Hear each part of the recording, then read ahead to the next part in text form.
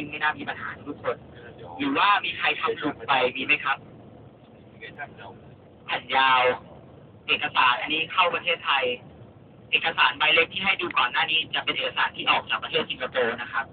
จะต้องมีอันนี้หนึ่งออกจากประเทศสิงคโปร์มีอันนี้สองเข้าประเทศไทยมีพาสปอร์ตนะครับ แล้วก็จะมี e-ticket เอาไว้เช็คอินสายการบิน